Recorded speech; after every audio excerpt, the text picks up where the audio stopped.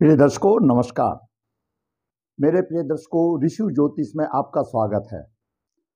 दर्शकों, आज हम एक बहुत ही महत्वपूर्ण विषय पर विचार करेंगे कि कुंडली में कुछ योग ऐसे होते हैं जो वार, तिथि और नक्षत्र के संयोग से बनते हैं। जिस प्रकार हम सभी शहद को, मधु को और देसी घी को अलग अलग तरीके से शुद्ध मानते हैं लेकिन उन दोनों को मिला दिया जाता है तो जहर बन जाता है। ज्योतिष में भी इसी प्रकार। तिथि, वार और नक्षत्र के संयोग से विष योग बनता है। उस विष योग में पैदा हुई कन्या को विष कन्या माना जाता है और पुरुष को विष पुरुष माना जाता है। ऐसा योग उसके जीवन के लिए हानिकारक होता है और दाम्पत्य सुख नहीं मिल पाता। आइए विचार करते हैं, वो कौन कौन से योग हैं जिनमें बालक उत्पन्न होने से विष कन्या या विष पुरुष माना जाता है। दर्शकों, हमारे ज्योतिष शास्त्र में द्वितीय तिथि हो, द्वितीय चाहे शुक्ल पक्ष की हो या कृष्ण पक्ष की हो, द्वितीय तिथि रविवार का दिन हो, सतबीजा या अश्लेषा नक्षत्र हो तो विष कन्या योग बन जाता है। द्वितीय तिथि हो, शनिवार हो और अश्लेषा नक्षत्र हो, उसका भी विष योग बन जाता है। सप्तमी तिथि हो, मंगलवार हो, अश्लेषा शतबीजा और विशाखा नक्षत्र हो, ऐसे योग में उत्पन्न कन्या या बालक विष कन्या या विष पुरुष माना जाता है। सप्तमी तिथि हो शनिवार का दिन हो और कृतिका नक्षत्र हो। यह भी विष कन्या योग बनता है। द्वादशी तिथि, रविवार का दिन हो कृतिका नक्षत्र हो, विशाखा नक्षत्र हो और शतिबीजा नक्षत्र हो। यह भी विष कन्या योग माना जाता है। द्वादशी तिथि, मंगलवार का दिन हो और शतबीजा नक्षत्र हो। यह भी विष कन्या योग माना जाता है। द्वादशी तिथि, शनिवार का दिन हो कृतिका नक्षत्र हो विशाखा नक्षत्र हो, यह भी विष कन्या योग माना जाता है। इस प्रकार ये एक, दो, तीन, चार, पाँच छः सात तिथियों और वार और नक्षत्र के अनुसार विष योग माने गए हैं। दर्शकों, उसके बाद दो विष योग और हैं जो ग्रहों की स्थिति के अनुसार पर है। ग्रह द्वारा छठे भाव में एक पाप ग्रह हो तथा दो शुभ ग्रह हो, वो भी विष कन्या योग माना जाता है। लगन में शनि, पंचम में सूर्य और नवम भाव में मंगल, वो भी विष कन्या योग माना जाता है। दर्शकों, तिथि, वार और नक्षत्र के अनुसार विष कन्या योग है। अगर ऐसे जातक की कुंडली में ऐसा योग भी हो और ग्रहों की स्थिति अशुभ हो तो वह योग और प्रभावी हो जाता है। परंतु एक बात और भी है, अगर केवल विष कन्या योग हो, उस स्थिति में सप्तमेश जैसे इस कुंडली में हम विचार बताएँगे सप्तमेश कैसे है। पहले व्याख्या सुन लो। अगर कुंडली में सप्तमेश बलवान हो और शुभ स्थान पर हो और सप्तम भाव एवं सप्तम सप्तमेश पर शुभ प्रभाव हो तो विष कन्या योग भंग हो जाता है। गुरु और शुक्र आदि की शुभ स्थिति, जो पंचमेश और पंचम जो जो सप्तमेश और सप्तम भाव से संबंध रखती है, वो शुभ स्थिति भी विष कन्या योग को भंग कर देती है। और विष कन्या योग हो और ग्रहों की स्थिति अशुभ हो तो ऐसा बालक का जीवन व्यर्थ हो जाता है। तो आइए अभी इसी से संबंधित एक योग की कुंडली मेरे पास है, उसमें हम विचार करते हैं।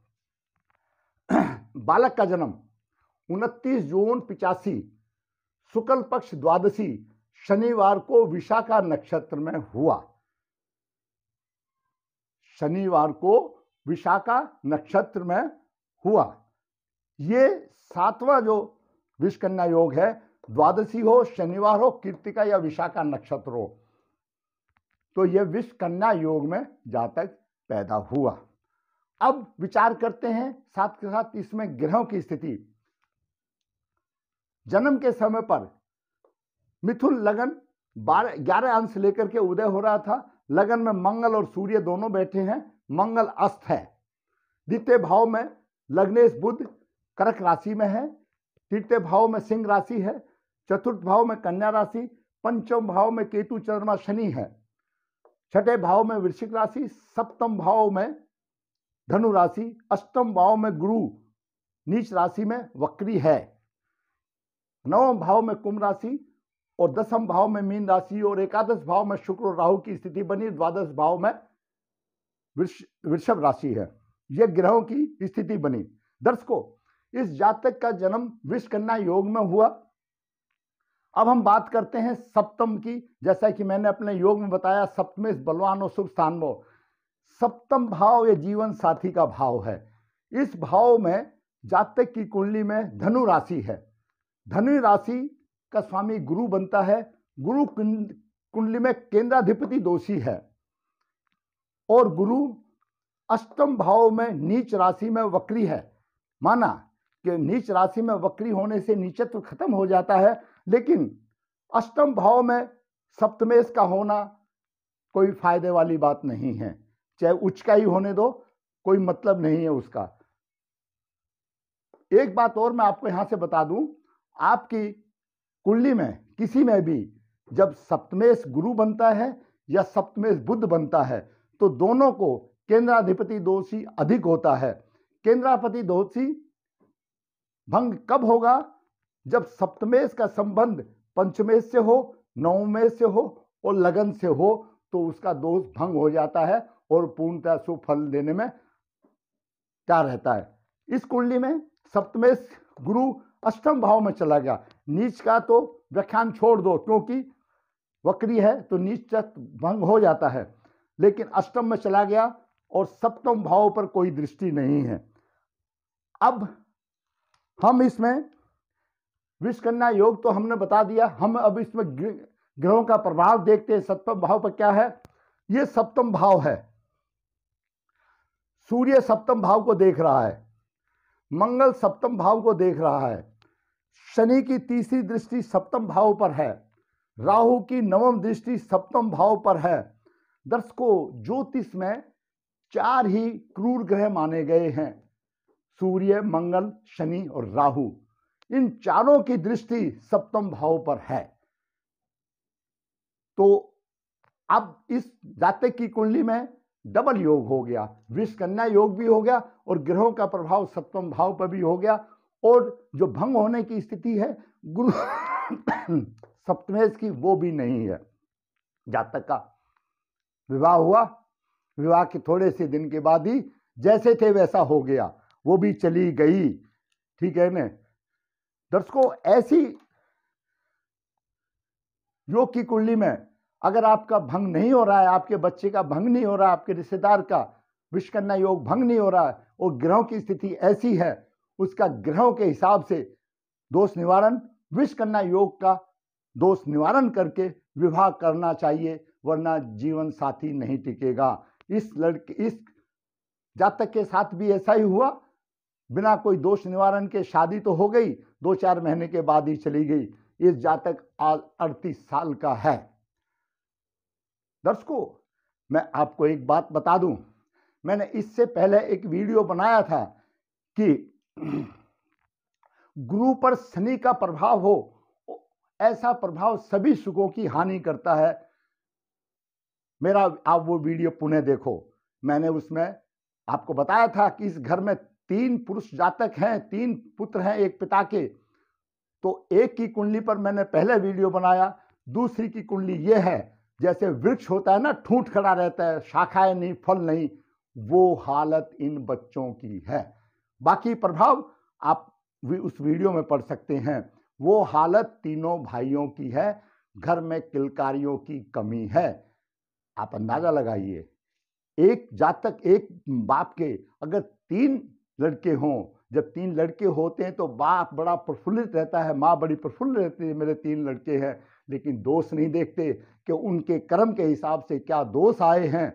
दोषों का प्रभाव तो ज़रूर भुगतना पड़ेगा। दर्शकों कर्म फूल सबको भुगतना पड़ेगा। मैंने आज आपको इस कुंडली में